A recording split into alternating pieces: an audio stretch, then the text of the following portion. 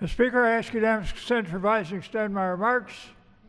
I Without thank my good friend for the time, and I rise in strong opposition to the seriously misnamed H.R. 2668 Fairness for American Families Act. It's a lot of baloney.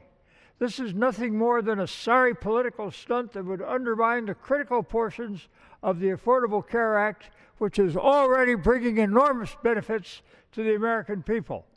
Delaying the individual mandate by one year will simply undercut ACA when it is the time that we must be focusing on fully implementing the law. Just today, we found that the health insurance premiums in New York are going to fall by an average of 50% when the exchanges are up and running.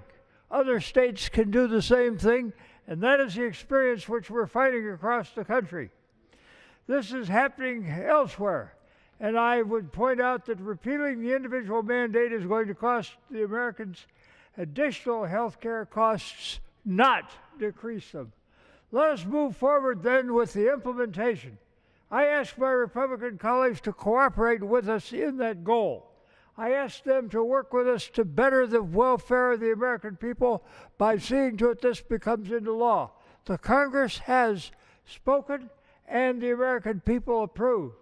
I say that it is time for us to provide real benefits to the American people rather than continue playing these sorry and tired political games. I say shame on those of us who are wasting the time of this body.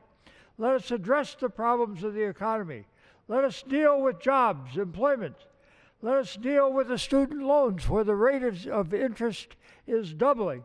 Let us see to it that we, we implement this law which will do away with things which are so hurtful to the American people, such as having Americans unable to get insurance because they have pre existing conditions, or where insurance companies can cancel a policy because people are in getting sick. It is time for us to deal with the real problems.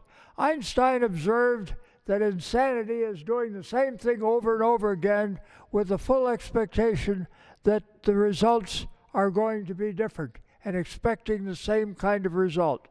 I say this country needs better leadership, better understanding, and a Congress that will work on behalf of the American people. As I look around, I do not see that on this floor today. And again, I say shame. This is a terrible, terrible waste of the people's money and the people's time. It costs lots for us to make this Congress meet and to conduct its business. And we are wasting that time now with this kind of nonsensical legislation. With thanks, I yield back the balance of my time. Michigan yields back.